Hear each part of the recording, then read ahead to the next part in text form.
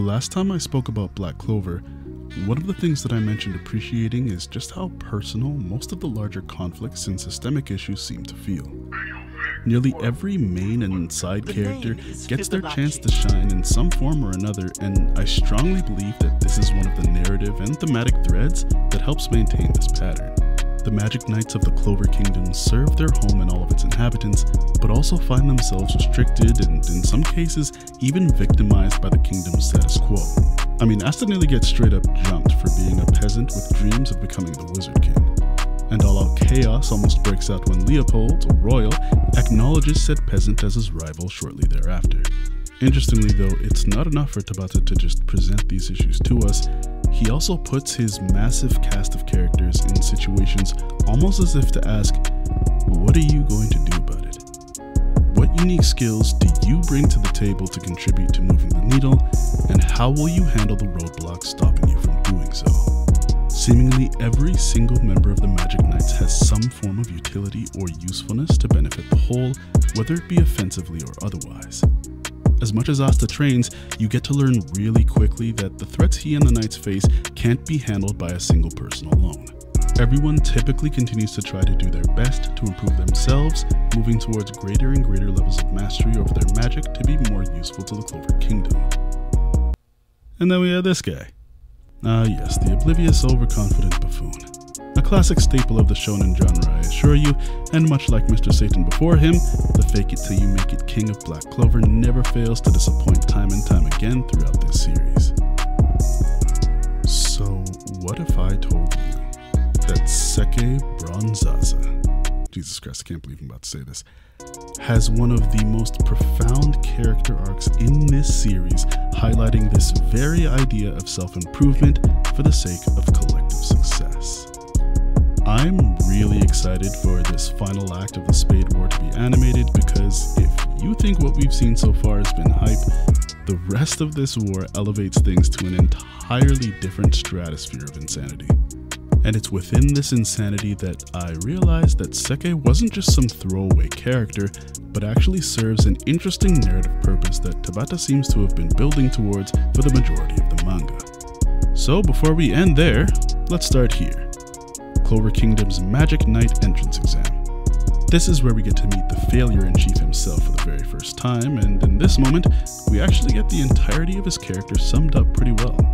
He's a nobody from nowhere who relies on using others that he perceives as lower than himself to stand out and seem capable and important. Like I mentioned, we learn this about him right away as he sticks close to Asta in order to make his feats of magic seem all the more impressive looking in comparison once he learns that Asta has no magic at all. Of course, this obviously and hilariously comes back to bite him in the end because, well, this is the protagonist we're talking about here, but on a deeper level, this also highlights Sekke's vanity and superficiality since he is absolutely the judge of book by its cover type. After Asta throws him in the blender, we see him again here and there for comic relief mostly, but interestingly, we also get to see him during a few key moments of the plot as well. The first of these moments comes during the fight against Vetto in the Underwater Temple. He gets a front row seat to the curb stomping this boy single handedly gives to a group of 50 Magic Knights simultaneously. Despite the fact that he spends this entire time cowering rock, this is actually a huge moment for him as well as the Black Bulls, considering how powerful Vetto is himself. He's frequently compared to a squad captain in terms of his strength, and throwing him at the Black Bulls, especially Asta and Noelle, who just joined at the same time as Sekke, seems kinda disproportional to their current experience and skill level. This is easily one of the series' best and most iconic Surpass Your Limits moments, which has its own significance that I'll circle around back on a bit later. After this, we don't really see much of the loser extraordinaire for the next few arcs outside of him hating on the squad and acting the fool for some laughs. That is until somehow he gets chosen to compete in the Royal Knight selection exam. Surprisingly enough, he actually manages to make it pretty far. Although this might have something to do with the fact that he's placed on a team with the outrageously overpowered vice captain of the Golden Dawn, Langris. He does, however, serve as the perfect partner since all he does is follow Orders. He doesn't think for himself, he just kind of falls in line as a good commoner should, follows his orders, and things go pretty well for him. That is, of course, until they don't. His plan for the entire tournament revolves around letting Langris do all of the heavy lifting, so it's pretty obvious why things turn out the way that they do. Now, unfortunately, I do regret to inform you that despite his all-star worthy performance, Sekke is not chosen to join Instead, we see him next during the elf invasion back in the Clover Kingdom, where he accidentally runs into the king himself. He nearly manages to get his first real win in the series here by using his defense magic to protect the king from oncoming attacks. Of course, this is until he snatches defeat out of the jaws of victory by running out of magic at the last possible moment, leaving them both open to attack from some opportunistic assassins. Fortunately for the both of them, someone competent shows up to save the day. That being said, Sekke's perceived heroism does end up earning him some favor with the king, as well as a spot on the team planning on raiding the Spade Kingdom in the next six months. Now, I know I already said this in the beginning, but the Spade War from this point onwards is nothing short of a roller coaster ride from start to finish. Everyone's individual training, hard work, and growth is put to their utmost limits as everyone desperately fights for the sake of humanity against the devil threat. Enter Lucifero. Lucifero. Lucifer. Luci- Satan. Look, whether or not you think this was a wasted or underwhelming villain, his strength was a completely different story. He absolutely wrecks everyone, Asta included, repeatedly. Meanwhile, Sekke can be seen cowering in fear, trying his best to go unnoticed. Now, honestly, this is what I typically come to expect from a character like this in a show like Black Clover. However, Tabata makes the bold choice to actually bring him into the conflict rather than leave him as a distant observer. To explain what I mean, right in the middle of the battle, Yuno manages to bring a wounded Asta as well as Mimosa over to where Sekke is hiding to provide some temporary shelter as they catch their breath and regroup. The situation on the battlefield is beginning to look pretty grim. The majority of the Clover Kingdom's heaviest hitters are all down for the count, and their secret weapon is clinging on for dear life. So, Sekke does what any self respecting soldier would do in a moment like this tries to get Mimosa to commit desertion with him. Huh? Huh? Not only does he clearly fail to read the room here pertaining to what's on the line, like for real, where are you gonna run?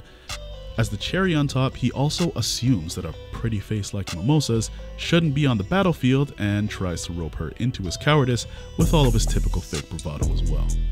Once he's realized that he's failed the wrist check and she won't even look at him, reality finally begins to set in.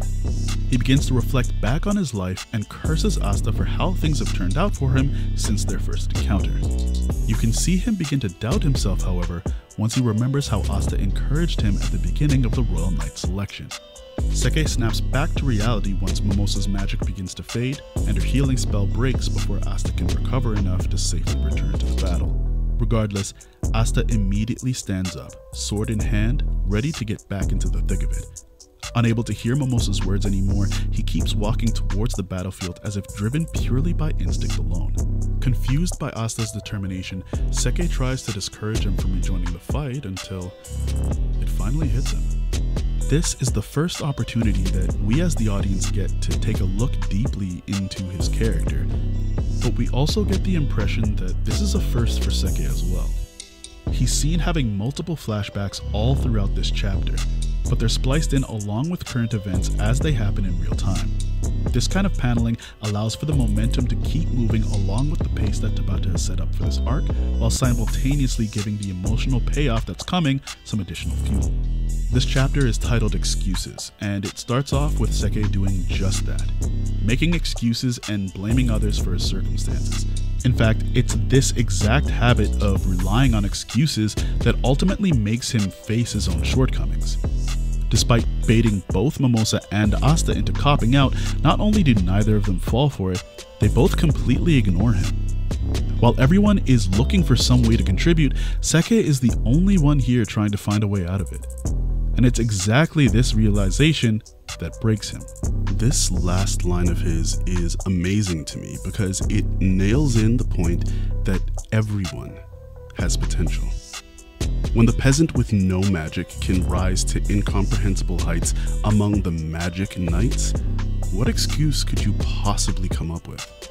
Both he and Asta witnessed Vetto's strength firsthand and therefore had more insight than most others as to how strong the enemy's upper tiers were. But he's never seen using any of this information to benefit himself or his squad.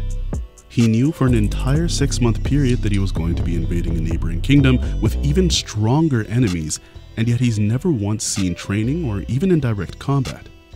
He's basically there for all of the clout and none of the action.